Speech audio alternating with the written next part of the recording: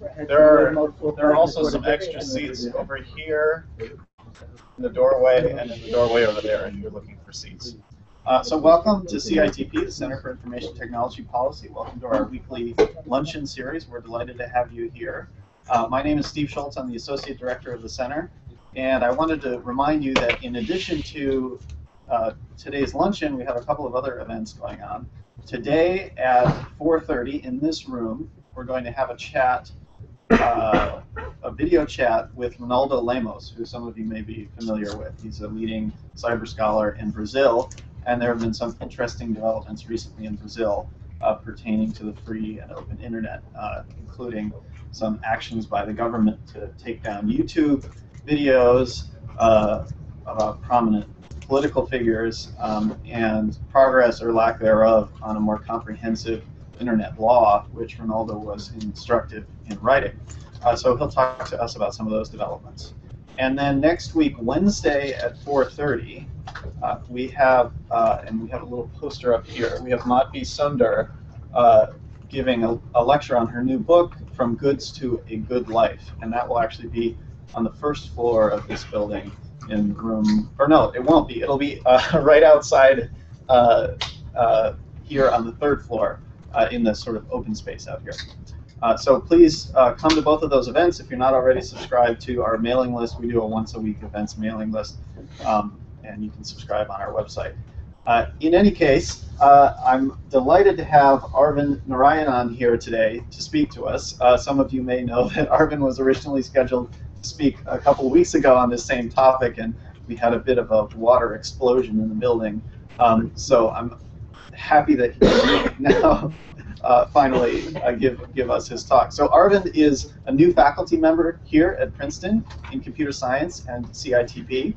Uh, he's done a lot of work on privacy and anonymization, uh, as well as work on things like the uh, Do Not Track proposal uh, within W3C, um, and a variety of other work. Um, he was also named, and probably don't like people mentioning this, he was he was named as the world's most wired computer scientist. Oh, yeah. I just about forgotten about that.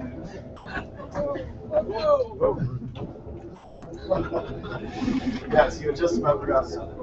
Um, yeah, so I'm sure that's on a plaque on your wall. It was a nice article, just terrible.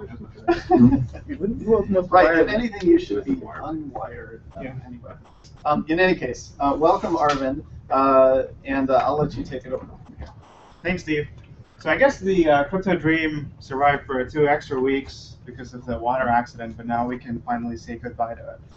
Um, so this is a talk that it's it's interesting for me to be giving because a lot of the uh, key events in the history of modern crypto in the 70s that I'll talk about, I wasn't even born when those happened, and so it's it's a bit weird for me to be giving this talk. And um, I mean, it would be great if if someone uh, who's who's been through those events could, would share their perspective, but I haven't heard too much of a discussion about the events or about the issues that I want to bring up today. Um, and so I'd be happy to hear your thoughts on it.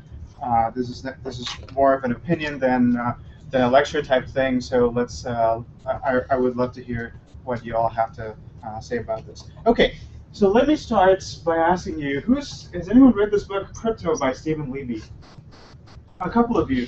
So I mentioned this book for two reasons. One is that for me, it was a great uh, starting point for my historical investigation uh, to into understanding the beginnings of modern crypto. But the other reason is that I find the subtitle very interesting, How the Code Rebels Beat the Government Saving Privacy in the Digital Age. Now, the first part of that subtitle, How the Code Rebels Beat the Government, absolutely true. It's the story of how uh, you know, crypto used to be classified as munitions by the U.S. government in this rather silly policy of export controls, and how crypto advocates, including uh, people at the EFF and a bunch of others, managed to uh, convince people that this was not a viable policy and freed up crypto into the public domain. And, and that was a that was a successful movement. So that's the story of that. But the second part of it is a little weird, saving privacy in the digital age. You know, doesn't quite seem like that was the consequence of that. And especially because, because this book was written in 2001, and if you think about privacy in the sense of uh, uh, resisting surveillance by government entities and uh, and corporations, that's probably around the time when things started going a little bit more. So so that's kind of funny, right? So and and that um, meshes very well with the overall message of my talk, which is why I wanted to start with this book. So I was mentioning to a friend a couple weeks ago that I was going to give this talk, and I was giving him uh, the the motivation for this talk that I just told you, and he said, "Duh, people just want to play Angry Birds, right?" and I found that comment funny, but I also thought to myself, I'm really glad I'm giving this talk because I reject that explanation. I don't think uh, the reason crypto hasn't been adopted as much as people thought it would was because there's no demand for privacy-enhancing technologies. I think that's an oversimplified and incorrect and a bit of a cynical explanation. There are other oversimplified explanations out there, uh, like crypto being computationally expensive. So those are not, I think, what the actual reasons are, uh, which are, I think, much more subtle and interesting. So let's see what some of those might be. Now let's let's take a historical perspective. Let's start at the beginning. In fact, let's go back about 200 years to this quote by Edgar Allan Poe that says, "Human ingenuity cannot concoct a cipher." Not a spelling mistake, by the way um, a long time ago, which human ingenuity cannot resolve. So this was the reigning paradigm for over 2,000 years. Uh, uh, people thought that it was always going to be sort of this arms race between two adversaries, one uh, creating codes and the other breaking them, and the one that was more skilled and had more resources was going to win. And this was the story of Enigma in, the, in, in World War II, for example. So that's what people thought, and things somehow changed rather abruptly in the 70s due to at least three mathematical and algorithmic inventions. Uh, that's the data encryption standard, right, for symmetric encryption when two parties share a key. Uh, Diffie-Hellman key exchange for two parties to actually get started sharing those keys when they don't already have shared keys. Uh, and RSA for public key encryption. now, what, what, what, what these things changed is that this was the first time that an average user could hope to have encryption technology uh, to encrypt a message that would have a prayer of resisting attack by the most powerful adversaries over a sustained period of time. And the other development that made this possible was that the microcomputer revolution was in full swing, and so the average person had access to computing technologies. Um, so this was probably not a major paradigm shift from other symmetric ciphers before it, although it was much, much stronger and resisted attack for a long time. Uh, but uh, asymmetric cryptography was definitely something completely new and uh, changed the game entirely. So when we look at the culture of crypto research during this period, one word stood out for me more than any other, and that's politics. So the motivations behind most of the crypto pioneers' work during this period were inherently political. Which is interesting because uh, in modern times, crypto research, at least as a direct motivation, is more about solving interesting math puzzles than about the social goals that the technology is intended to achieve. And, and that, I think, is an important factor let me show you a few quotes to illustrate that. This is again from the Steven Levy book. So Whit Diffie says he really believes in the radical viewpoint and explicitly makes the connection between politics and the work that one does. So let me clarify, there's going to be a few more of these quotes. I don't mean this in any sort of disparaging way. In fact, I admire this a lot, and I find it uh, you know, somewhat unfortunate that modern crypto research has lost this connection. So here, here, here's a few more. Marty Hellman, again, deep-seated suspicion of a centralized system. So this connection between cryptography and decentralization is something uh, that's going to come up again a little bit. Phil Zimmermann, in, ma in matter of PGP, was apparently a Freedom Net who was uh, twice arrested in rallies. Okay, um, enough with the quotes. Uh, so another point, historical point that I wanted to mention was that the narrative around crypto during this time was situated in the context of the broader narrative around computing, which was undergoing a sea change. And here are some examples of that. These two books are from the early 60s, uh, titled The Naked Society and the Privacy Invaders. So the point of view that these books had was that, uh, so this is about computing in general. So the point of view that these books had was that computers were tools of the state, and in particular, they had a specific view of the state, a, a giant bureaucratic, almost socialist state that was interested in using computers for sorting and cataloging and numbering its citizens, uh, or that was the narrative anyway. Uh, and it kind of made sense because at, at back in, in, in the 60s, governments were the only entities who, or probably very large corporations, uh, that owned and used computers. And so this changed over the next few decades. By the 90s, as I understand it, it had completely changed. In this latter book, I intended not as, uh, as an exemplar of the new viewpoint, but a, as a narrative of that viewpoint. It's titled From Counterculture to Cyberculture. And the point that this book makes, uh, this book makes, is that this change in narrative was not something that kind of automatically happened due to the change in technology, but was in, instead deliberately orchestrated by a small and uh, well-connected group of individuals, people like uh, Kevin Kelly um, of Wired, I think, Nicholas Negroponte, uh, Stewart Brand, and people like that. So, you know, uh, computing, freedom, autonomy, privacy, crypto, these are all some of the words to keep in mind in the sense of uh, understanding the culture of this period. So this idea of uh, crypto as a tool for liberation and freedom was kind of taken to its logical extreme by the cypherpunk movement, of which Eric Hughes and Tim May were two of the early important people. Here are a couple of quotes from them. This is like this is from in a different category than the ones I showed you before. Uh, even allegedly benign governments are a constant threat to the well-being of citizens. Tim May says transactions beyond taxation and to nation states, etc. Here's a report that I love a lot. Uh, we create, using crypto that is, we create virtual regions and the conduits and pipes of the future, the very mortar and walls of these virtual spaces could be held up by nothing but crypto. Oh my god, it's so profound, there is nothing else. So at this point, steven Levy, author of the crypto book, um, mentions that Tim May talks about crypto like he's been acid tripping, which is an interesting comment, but I actually think there is a specific mathematical and computational meaning behind what Tim May is saying here. Again, I can't know exactly if he meant that, but uh, I'll, I'll, tell you in a couple of slides uh, what he probably meant.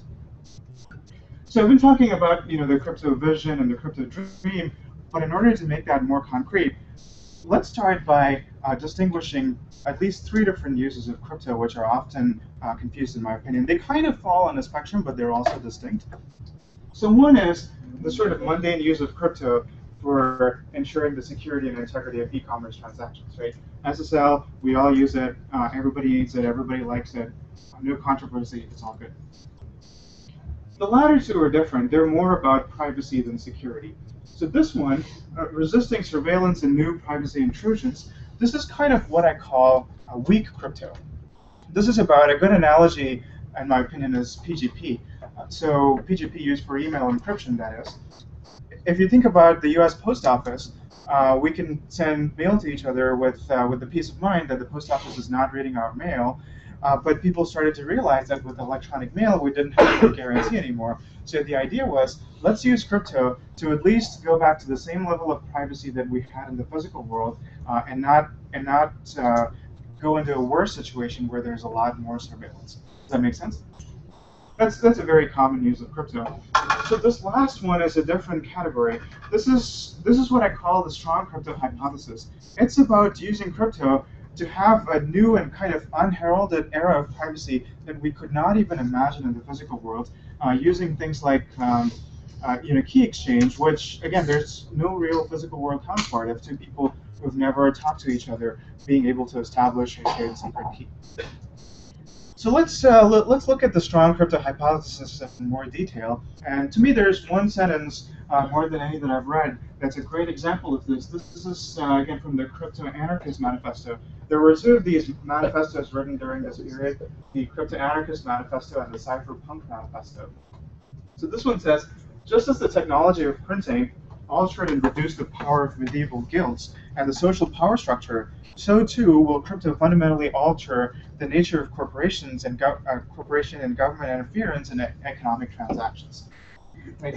So that was the magnitude of that vision to bring about fundamental social change, to upset existing power structures, change the balance of power, etc. So that was the strong crypto vision. The mathematical underpinnings of this go back in large part to the work of one person. Uh, there were a lot of others later, but in the beginning, it was uh, David Chaum, who, as I understand it, did a lot of this work uh, by himself in the early 80s before other people started paying much attention to him.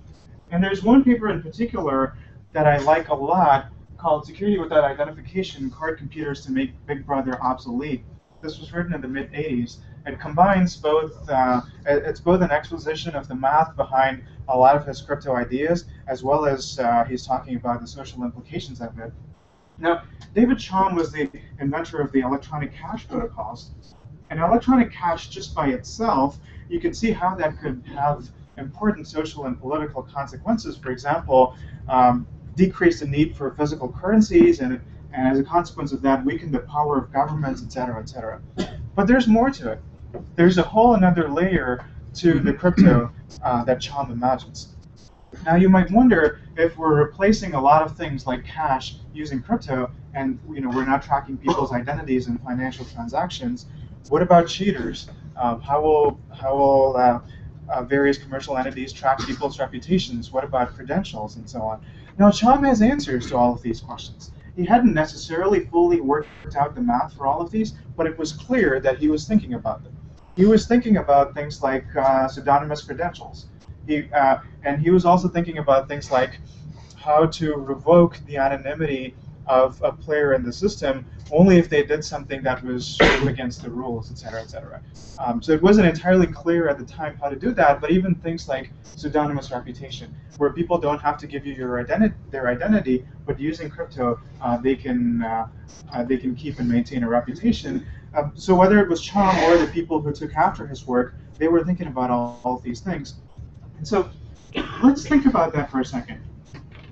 What these guys were talking about is sort of breaking down um, ideas like trust and reputation and credentials and sort of rebuilding them from the ground up using crypto.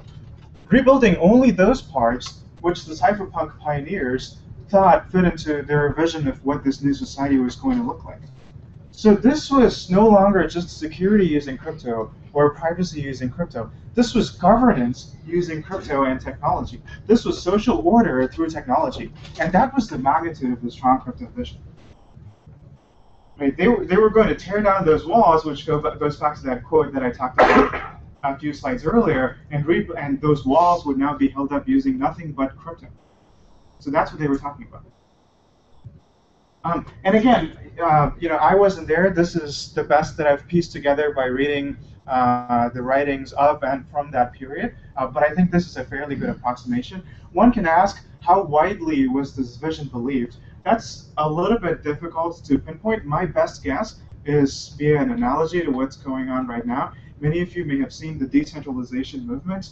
People who are uh, very upset, for example, with uh, Facebook and Google being centralized repositories of our personal data. So there are things like decentralized and distributed social networks. There are things like personal data vaults. There are a whole bunch of these movements going on. It's not necessarily the case that the average person believes in it or has even heard of it, but it's taken very seriously by you know a very significant minority of the technology community, and most people in the technology community has, have at least heard of it.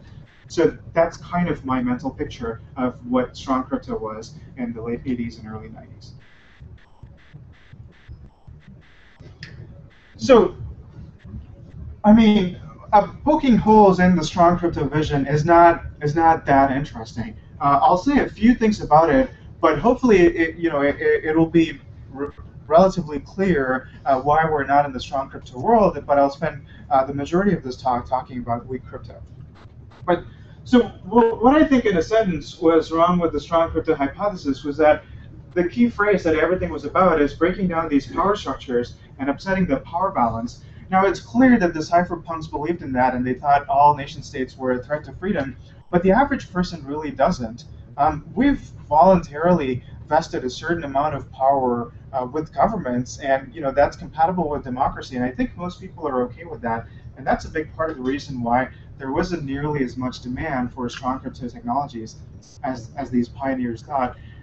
And here's another interesting difference between weak and strong crypto. If you look at PGP, you and I could decide that we want our emails encrypted, and we could both start using PGP, and we would immediately gain the benefits. If you talk about these things, if you're talking about a pseudonymous reputation system, the only way that that's meaningful is if there's, you know, if there's a broad support for it. It's not something that two people can get started on, right? So this really depended on a change in, in the in the overall uh, social vision for it to be meaningfully adopted.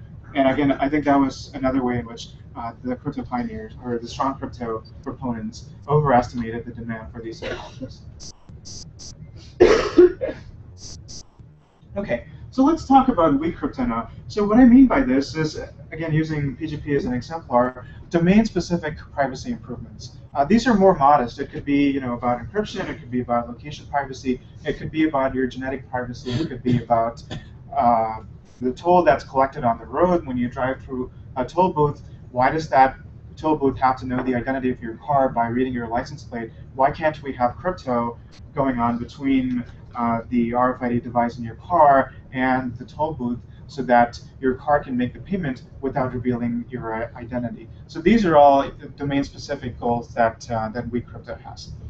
Now, interestingly, just like a lot of math behind strong crypto goes back to Chaum's work, a lot of the math behind weak crypto goes back to what I call Andy Yao's magic trick, better known as uh, uh, secure two-party computation, achieved via a theorem known as the garbled circuit theorem. Who's heard of this? A bunch of people. Okay, great. Um, so, so let me explain what this is. Uh, what Andy Yao proved was that, uh, let's start with the example of a millionaire's problem. The millionaire's problem goes like this. There are two millionaires. They meet for dinner.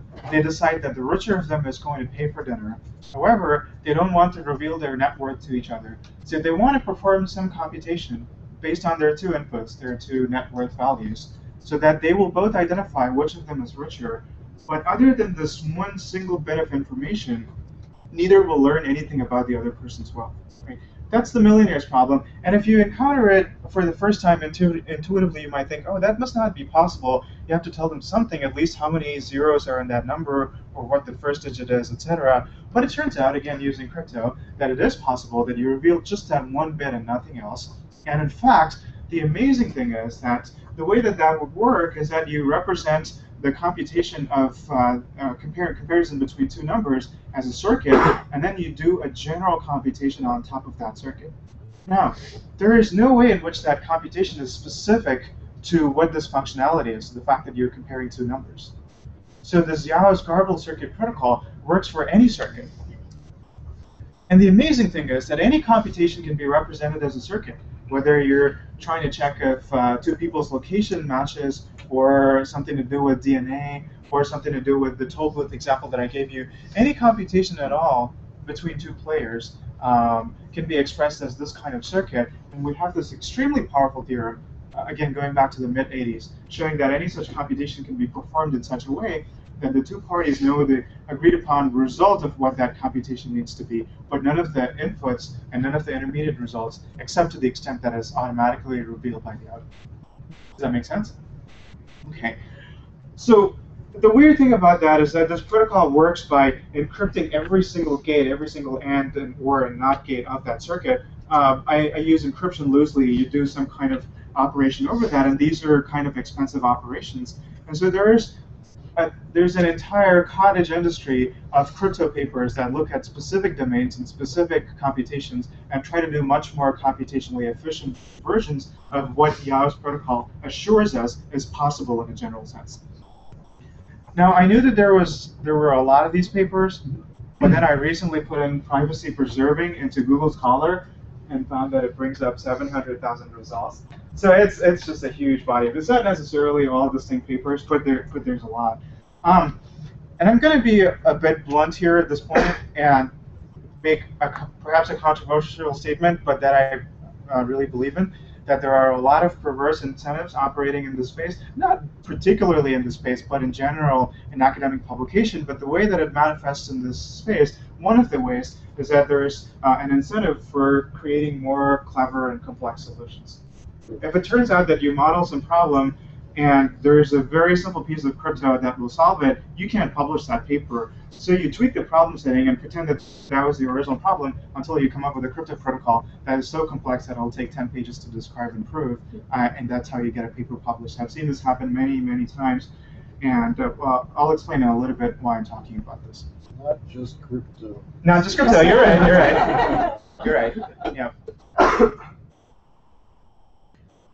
So the question I want to answer in the rest of this talk is, if you talk about PGP, for example, the question you'd ask is, why is it that the average person hasn't downloaded PGP? But the question that you'd ask about this kind of paper is, why haven't the Googles and Facebooks of the world and the power companies, et cetera, adopted these technologies? Because that's usually uh, who it's, it's targeted at. And Now, I don't want to criticize other people's work, so let me take an example from my own work. Uh, this was with people at uh, Stanford. It was published a couple of years ago about location privacy. Now, I think this is a good paper. You know, I, I think there were good ideas in this paper. I will defend this paper. But it was the usual story. We published this paper, and then we went and uh, had meetings with people at both Google and Facebook. Um, no interest, and then we had informal conversations with other people, same story. And that's the question that I want to answer. What is fundamentally missing here? So let me start by describing what we tried to achieve in this paper. It's the following scenario. It's about location privacy. What we want to achieve is uh, you'll have a phone app, and so if you're walking around in a mall and uh, one of your friends is also in that mall, then your two phones will serendipitously uh, pop up this notification saying that you're nearby each other. But here's the crucial thing, and notice the analogy with Yao's protocol. If you're not close to each other, neither of you will get any information about where you are nor will any party like uh, Google or whoever the service provider might be. Right? So the only one bit of information that's ever revealed by the system is that your friend is nearby within a pre-specified radius if they nearby. Does it make sense? And you can do this using crypto. Uh, again, it's kind of, if you can think of it as a specialization of Yao's protocol to this particular uh, computational goal. Okay, so I want to go through a bunch of reasons here. Uh, let me start with uh, what I call comprehension, which is a broad umbrella for various things. And, and the first one is comprehension by users. And now, a part of that is usability, but I mean much more than that. Uh, let's start with usability first. There was, in 1999, there was this great study called uh, Why Johnny Can't Encrypt. It was a usability analysis of PGP. And it concluded that basically nobody could successfully download and understand the model behind uh, and use PGP to encrypt a message and sign it and verify that encryption and signature, uh, et cetera, et cetera. So it's been many years. Uh, people will claim that those usability problems have been fixed, but I'm not sure they have been. And also, none of it has removed the need for people to understand that uh, understand the model and understand what is going on in the system, and that requires a lot of user education. So that's already a fundamental roadblock there, right? Um, but I mean more than usability. Here's another example of what I mean. Let's say that, let's think about that location privacy protocol again. Let's say Google built that, and let's say Google made that app available in their app store, or whatever it's called these days. Think about how that marketing copy would read. They'd have to go and tell people, hey, look, you can know when your friends are nearby, but nobody's getting this information. It's, it's all encrypted, right? So your location is never sent out. Ironically, that wouldn't pass people's bullshit filter. Because intuitively, that doesn't seem like something that's even possible. Right? People don't have an intuitive understanding that crypto even exists. So a lot of these conversations you can't even begin to have with users because it, it doesn't make any sense to them. So how are you going to convince them to adopt it? So that's that's one facet of the comprehension problem. But I'm just using that to illustrate that there is a huge gap here uh, between what people will accept and uh, the way that crypto actually works. And this is not a problem that you can solve by making the user interface prettier, uh, or you know, it's not a problem that Moore's law is going to take care of, unlike some of the computational difficulties with crypto. So I want to focus on what I think are some of the uh, more fundamental barriers here. And so the next one, I'm using management for lack of a better term, but this is an interesting one. What I mean is that the existence of crypto is not reflected in the organizational structure of companies. Let's parse that. So a few times um, with uh, my colleague Jonathan Mayer at Stanford, with other people, I've been in the position of going and talking to companies about adopting some of these technologies, and many times we find ourselves talking to legal and compliance people instead of technology people. Why is that? Because that's the way that all companies are set up to think about privacy organizationally that it's a PR problem, it's a compliance problem that you want to make go away. Right? Privacy by design, this idea of integrating privacy into, into the design and implementation phase of technology, has been talked about for more than a decade now, I think. But it's somehow not made its way into how companies organize themselves. The way the mental model that they have is you let your engineers build their products in peace, they'll give you a finished product, and then you sprinkle some magic pixie dust on top of it so that your privacy problems will go away, and then you make the product available. Now, crypto is fundamentally not compatible with that way of building software. Right? Because if you want to do these things cryptographically, if you want to have these privacy guarantees, you just have to re-architect your whole system. You can't collect the same types of data. You have to go to different kinds of algorithms. And companies are not in a position to do this. They're, they're still in a very compliance-oriented world when it comes to privacy. So that's part of the problem. And this is, uh, I think, also exacerbated by, oh, yeah, uh, this was the paper I was referring to, Johnny Can't Encrypt Usability Evaluation of PGP. Anyway, but returning to the point about regulators, um, regulation is not helping with the situation, uh, and let me explain why. Let's uh, look at an example where regulation has actually been successful for the adoption of crypto, and uh, that would be data breach notification laws. Many of you have probably heard about this, right? Uh, various states, starting with California, passed this where, for example, if, you, if you're a company, you lose a laptop containing sensitive consumer data, a variety of compliance requirements kick in, you have to notify them. But if you've encrypted that data, you're okay. And so because of the safe harbor, uh, a lot of companies started automatically encrypting this information. So that's crypto for security. Um, regulators know how to incentivize that. I'm not going to claim that that works perfectly, uh, but it but it does work to an extent. The same thing is not happening for crypto for privacy. Why is that? Let's think about this. So, um, so we uh, with others at Stanford and NYU, I worked on a project for uh, using cryptography to protect yourself in the online behavioral advertising space.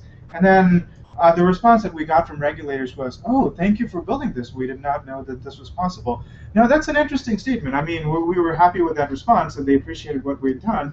But think about the analogy for security. It would be as if you had to build a proof of concept to show that encrypting financial data was possible, and then they'd be like, "Oh," and then they'd uh, you know pass uh, a regulation that was intended to incentivize financial encryption, and then you had to go and do that separately for health information right? And then they would respond to that. So that's kind of the analogous world that we live in for privacy. This idea that, that crypto exists and it makes possible all kinds of computations in a, in a privacy-preserving manner. Um, that general insight has not has not reached the policy world yet, uh, and I don't know if they're even structurally capable of receiving that insight. Not at an individual level, from the but from the point of view of uh, how you regulate things. Does this make sense? Just be the devil's advocate? It Please. seems like there's it seems like there's innumerable things in society today that maybe we should be outraged about, but Uh-huh. we're not. Okay. And so, do you think there's unique aspects to crypto and its adoption, or is it just one of many things that we should feel the government should do differently in terms of policy, in terms of regulations? Right. Well, uh, it is true that there are many things that we should be outraged about, but what I think is different is that the reason that that's not happening is different in every case. And I think many of these reasons that I'm pointing out are very, very specific to crypto. And they all, um, you know, there are things that we can do about it. So after each of these drawback slides, I have um, a slide with possible suggestions. I don't think it's going to completely fix the problem, but I think it can help us devote our energies in a more productive way because there are there are still a lot of people who want crypto to happen, and I think for those people it might be more useful to understand what some of the fundamental barriers are and how to maybe do things differently. Oh, um, you you mentioned that the reason talking to management is, is not effective is because privacy is lumped in with uh, Yeah. legal and compliance. Uh, and you were saying perhaps that's irrational, but I mean, you could, you could argue that it's actually a very rational, it's a very rational decision because you know they view, for better or worse, that um, privacy is not in their interests. That they have incentives not to collect information, and therefore they are putting in compliance because they are using it to make this problem go away. Um, and you know the engineers are very aware of this. They're just deciding that they, you know, they can make more money if they collect all this information. I, you know, I think that's entirely possible. I'm not, I'm not trying to say that corporations are doing something that's not in their interests here. This is a message that's intended to proponents of crypto, and uh, and my message is, if you want crypto to be adopted, where should you start fighting for that change? It's not by building more technology. It's by attacking some of these problems. I'm not saying they are even attackable, but to the extent that anything can change, I think this is where some of that change needs to start. Yeah, so follow up on that, and I don't know if you're done with the drawbacks. I want to. There's there's a bunch more. There, well, let's go through them, then I would say. All right. So, um, so a small suggestion here for something that I think could change is just informing people that crypto exists. And I think everyone who takes any sort of um, intro to CS class, for example, it's not about understanding the math behind crypto, but just developing an intuition for what is possible and what is not. And I think that would be hugely beneficial because a lot of these people are going to go on to be in positions like being an executive or being in government, and this kind of understanding would be uh, would enable them to make much more enlightened decisions. They might still decide, like Mike said, that it's rational not to use it, but at least it won't be for lack of understanding the, the existence of the solution. All right, here's another one. Um, I think the implementation complexity of crypto protocols is kind of out of control, and a lot of crypto people don't realize this. So as an example of that, let's talk about the humble hash function. This is even simpler than encryption. Almost any imaginable crypto protocol needs to have this. But here's the thing. Um, the most simple kind of hash function construction that you can imagine, it's called the Merkle-Damgård construction, and it suffers from what is called the length extension vulnerability. Do you guys know what this is? So what happens here is that if you have the hash of a valid message, you'll be able to compute the hash of any message that's a concatenation of that message, even if you don't know uh, the key for that hash function. And this means that uh, if you if you use this for signatures in kind of a naive way, your signatures are going to be insecure. And this has affected uh, actual products by actual companies. A couple of years ago, somebody went in and did sort of a survey of various web products and uh, to see if they were susceptible to this vulnerability. And here was a partial list. I ran out of space here. Right, and, and this is you know the simplest crypto primitive. And so how are we ever going to expect um, your average programmer to read a 10-page crypto paper with an insanely complex protocol and implement it in a bug-free manner? There is something fundamentally missing here. And if you look at uh, cases where crypto is successful, uh, that's because the crypto has been packaged into a library like SSL, and there are crypto experts writing that, and everyone else can sort of make use of that in a black box way. Right? But this paradigm is kind of not available when you're talking about crypto for privacy, because the whole thing is about looking at the specifics of the computation and redoing that computation on top of crypto. So you can't modularize it in a way that makes sense for software development. You can't modularize it in a way that the average programmer doesn't need to know about it. So again, that's that's something inherent here that probably needs to change in order to make this um, more viable. Mike looks extremely skeptical. Well, I mean, there's been like Fairplay, an example of a compiler that you could write regular code and it will automatically generate. I'm gonna get to that. So what, what are what are some things we can do about this? I mean, I've been talking about something called lightweight crypto, like how far can we get by avoiding big integer arithmetic. And the suggestion, the reason I make that suggestion is actually not for the computational reasons, but because I believe that it can uh, greatly simplify the implementation complexity. I don't know if that's actually true because it, it remains to be seen if people will adopt that. But, but I think it's something possible. I've seen something interesting called practice-driven crypto theory by uh, Tom Ristenpart and his students at Wisconsin. And this is the thing that Mike was getting to. There are tools for generic secure multi-party computation, for generically implementing the Yao's protocol. The thinking in the crypto community has been, that's too inefficient, let's not even go there, let's take that as an existence proof, but let's do all actual crypto protocols by re-implementing them. Um, people are, are, starting to question that accepted wisdom. There was something, I think, by Jonathan Katz and others that I saw recently that uh, that says, let's actually compare the computational efficiency of doing this in a blunt, generic manner versus specific protocols, and it challenges the view that the generic protocols are any less computationally efficient than the specialized ones. Um, so those are all some possible ways, uh, I think, in which this implementation complexity issue can be mitigated. All right, so the next one, this is, uh, I'll just say uh, something brief about this because I'm sure you all already have a good intuitive understanding of this. Crypto for privacy, uh, you know, comes with a specific view of privacy as secrecy or as confidentiality, and that breaks down a lot of cases. And one good example of that is this notion of breaking the glass in medical informatics systems. Who's familiar with this? Okay, so breaking the glass is the principle that any health informatics system, whatever the authorization mechanism uh, or security mechanism that it has, that it has, it should always come with a way to override that. And you know, when you override it, of course, the actions will be locked by the system, and it will trigger a manual audit later, etc. But there should always be this override because if somebody you know forgets the password or something like that happens, you can't lock a person in an emergency situation out of their health information. Think about the crypto way of doing things. again, by default, crypto protocols don't fit very well uh, with these kind of extra needs that actual systems have. And so the suggestion that I have here is to kind of relax the adversarial model and understand that trust actually exists in the world and things like auditing and accountability and provenance and all those other things exist. You don't have to do everything in the paranoid model. This is not a comment about designing systems. You, of course, when you're coming up with the RSA encryption scheme, you have to be in the adversarial model and think about the most powerful attacks that an adversary can run in order to factor a large product of primes. However, when you're talking about system design, right, you, I don't think you should be in this model.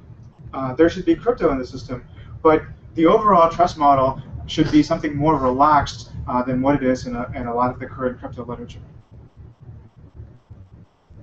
All right, so under poor economic, yeah, The question? other hand, though, is said the crypto trust model actually too weak in some sense because it assumes that you can trust the machine that you're running the crypto on. That's a good point.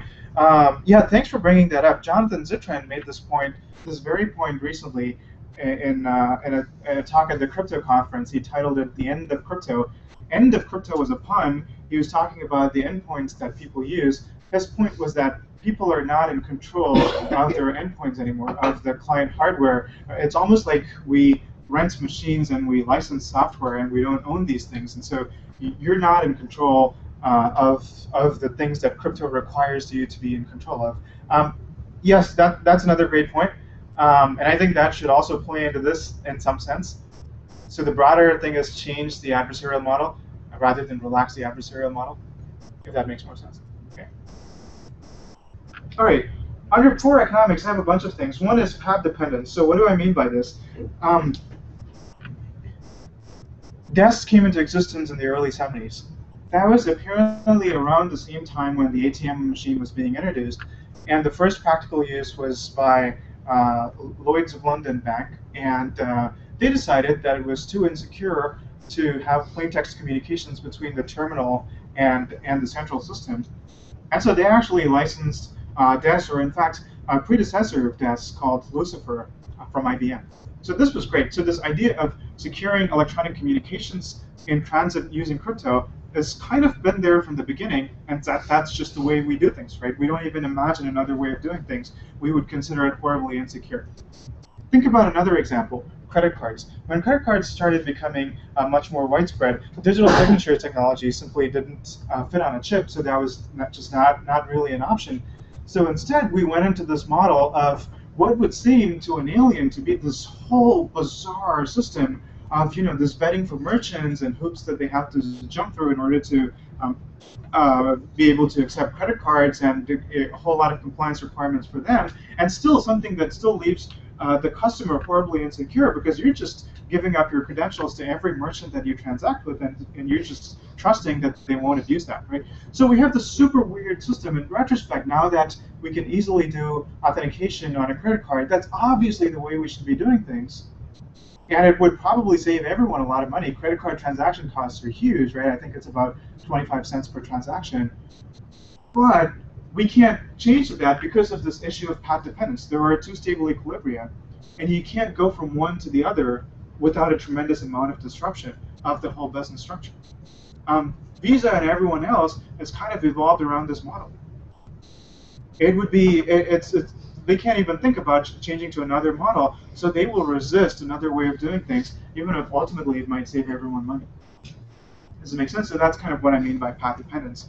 Um, my colleague Jonathan Mayer pointed out another type of path dependence, which is think about how, uh, think about the life cycle of a company. It starts out as two guys in a garage, and uh, you know what you're trying to do is get your product to market as fast as possible. Security is the last thing you're thinking about, and nor do you have the expertise to do that. And so you build an insecure system, and then you build other non-crypto defenses around that system in a haphazard manner as and when the need arises, and you never go back to re-architecting your system uh, in a, in a crypto-centric way. So that's another kind of path dependence.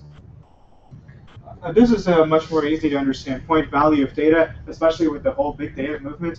Uh, companies have uh, have the collection of data as a primary or secondary goal, in addition to whatever functionality that you want to provide. So if you go and tell them, oh, you have to do everything with encryption so that you can provide the functionality, but you don't collect the data, they're just not going to like that. So this point is much more subtle, and it actually applies to crypto for security as well as crypto for privacy. Here's the thing. Um, consider the simple task of running a web server and then you know throwing Apache on it to be able to serve some static files, and then you just want to forget about it. We're not in a position to do that today, because every once in a while a zero-day vulnerability is discovered. And so even the dumbest system that needs some security requires human maintenance. And you know there is a whole market for zero-day vulnerabilities. So ultimately, even though the crypto is foolproof, we're actually back in Edgar Allan Poe's world where it's a question of who has more money to buy security exploits or who's more up to date with security patches, et cetera, et cetera. So while the hope with crypto was that you could build a system where you could entirely rely on the technology for security, unfortunately that hasn't happened. And I, I, mean, it's not necessarily a fundamental barrier. People have been working on provably secure systems for the longest time, but it's just that for whatever reason, that's just not the way we do things in practice today. And, uh, and by the way, we have a talk about the market for zero-day vulnerabilities by Excellent. Chris Soghoian on November 15th. All right. So just a little preview. So uh, I, I'm just about to finish up here. So, the point that I wanted to make is that in a world where all security is economics anyway, that's how companies are going to think about these things. That greatly decreases uh, the appeal of crypto because it can't achieve that goal of simply trusting uh, the security and, or sometimes privacy of the system to technology instead of considering it as a, as a human and economics and organizational problem. So what can we do about that? Um, again, this is this is a, like a half suggestion. It's not going to go nearly all the way towards solving those problems. Uh, one of the things, though, that we could try to understand is that centralization simply isn't going away. And move crypto away from this decentralized model where people control their own hardware and software, the point that you brought up, and sort of instead try, try to co-opt centralization, uh, which would bring in, uh, or which would address a lot of these economic criticisms, like companies not being able to collect data. Uh, so I've talked about a bunch of uh, hybrid architectures where the company does get to collect some data, but also provide some functionalities in a, in a cryptographically secure manner. Okay, here's kind of the last thing I want to say. This overarching suggestion that goes through all of this is that, in general, I think we should embrace regulation as a way of promoting crypto instead of seeing crypto as an alternative to government interference and as a way of wresting control away from those big players. And in addition, in addition to regulation, co-opt these social and legal uh, approaches, um, which which will, I think would make uh, crypto much more appealing to uh, to businesses. All right, thank you.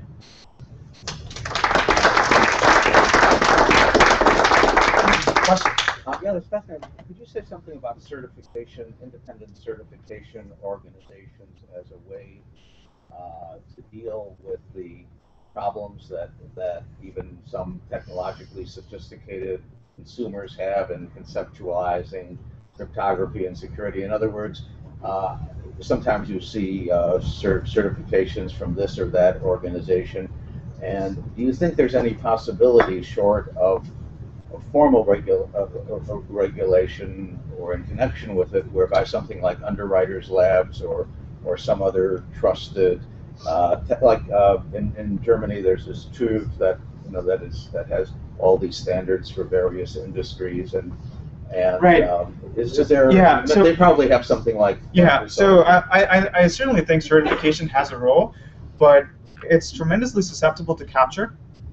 Uh, it's susceptible to capture by the very industry segment that it's supposed to protect consumers against. Uh, there have been instances where the certification procedure, you know, successfully gets whittled down into just a dumb list of, uh, of procedures that don't mean anything anymore. There have been studies around this. There was one paper that showed that websites that have a TRUSTe seal are twice as likely to be malicious as those that don't. This was a few years ago, but you can imagine how this might have happened because malicious websites have a much greater incentive to try to subvert that process and somehow get a TRUSTe seal uh, because it makes them look much more credible.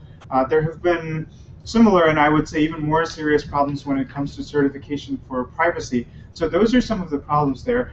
Uh, something analogous to certification that has worked really well as platform providers acting as police for security and privacy problems.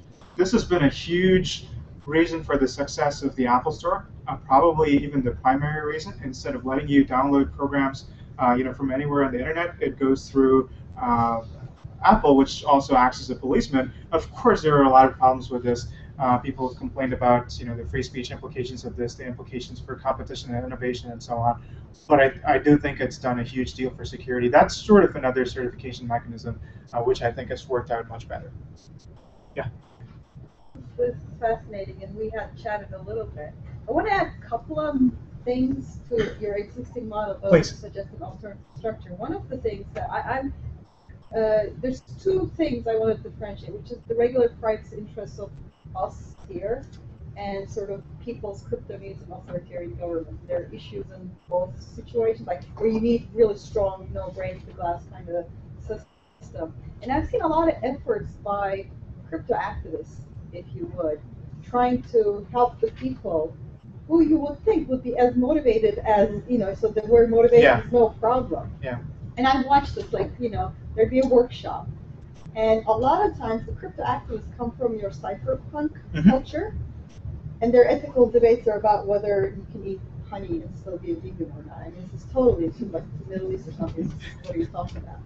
Uh, and they would, because they came from that culture, it was this all or nothing. They really focused on any kind of vulnerability for them was like no. They were going to have this super, super no holes kind of system. So by the time you presented a no holes kind of system, it's impossible to use. It, Right. just there's just no way Right. because if you're closing every potential form of attack, and if you suggest that, well, look, you know, tell these people they Gmail may well be good enough for you. They would they were really culturally Mhm. not coming from that, which is something you're outlining here. Their culture is all about, you know, this, you call it pyramid at some point, uh, and they may be right. But it- that's what it sounds like. By the end of it, you the, the, a lot of people came from that and said, "There's nothing we can do," Mhm. because it, it seemed like unless you had 100% security, it just wasn't good enough for these people. And if it's not good enough at 100% security, you might as well Right. give up. And I would explain to them, even if you make it a little harder Mhm. for a government to find you, it's a good. So that, that culture difference, I think, they, where these people are coming from, and what a lot of regular people want in, um, say, the authoritarian government model, that's a big issue.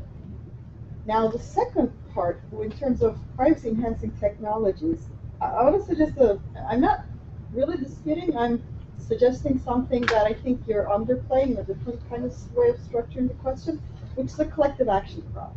Okay. In that, uh, a lot of us have privacy interests that, if presented in a reasonable manner, we would choose. But at any given point, I don't really have a strong incentive to encrypt any particular step of my online footprint, right? Unless I'm doing something really weird, I most of the time, or I'm doing something, and I'm really not going to be. Yeah, I don't like you know big data. I don't like profiles, all of that, but it's really not an individual concern for me. Mhm. Except the risk is low. Something might happen, but the risk is low. The problem, though, is the aggregation of this kind of data is indeed a power shift. Like if this kind of data is aggregated at a centralized place, government, Facebook, Google, that really does represent a power shift. So I'm suggesting that the crypto dream had a point that if you had David Chaum's kind of world in which you had you know, all conveniences of doing stuff online, but you weren't really traceable unless you did something wrong. So, so you're saying that if people had a single choice, do you want to live in this world or that world? A lot more of them might choose They that one. would, Yeah. but there, kind of going back to the local optimum thing, Yeah, there's a yeah. point in which that the risk is at the aggregate level, Sure. but the interest of the big companies and governments is at the other end. I, so I'm saying that, uh, somebody was saying uh, this earlier, that it really is, it's not that their vision was completely false, they had a point, this Mhm. would undermine power structures. Mhm. And the powerful players have no incentive to build privacy by design in a way that would actually undermine power structures. And individual users have no, you know, they would have to overcome a major collective action problem and be convinced that unless everybody encrypted everything all the time, it's not that there's a risk, there's a lot of times kind of paranoid talk, you know, if you don't encrypt everything, something, nothing's gonna happen, you know that. You know, it's a very low risk. You see, the collective action problem is at the individual level, there's not much incentive. And who's going to organize collectively and overcome the collective action problem? There's nobody really doing that. There's nobody making the case. And the crypto people, and a lot of them are my friends, uh, don't really, they communicate this really paranoid sounding world in which if you don't encrypt one thing, you know, then you're doomed. And that just doesn't work. Thank either, you. see? That makes sense. One more quick question, and then I think we're out of time. Okay. Not from me. Oh, okay. Anyway. There. So, um, ju- just a, a quick, simple one, I guess. So you you keep talking about privacy. If- Does privacy equate to anonymity to or are they different things? Anonymity is certainly one way of, uh, of achieving privacy in uh, many scenarios. Uh, you can have crypto with or without anonymity. So I see it as a little bit of an orthogonal issue. All right, well, thanks so much, Arvind. I want to remind everyone, 4:30 today, uh, chat with Ronaldo Lemos in this room, and then next week, uh, Wednesday, uh, Madhavi is going to talk about intellectual property and global justice uh, at uh, 4:30 out in our open space. But thanks again, Arvind.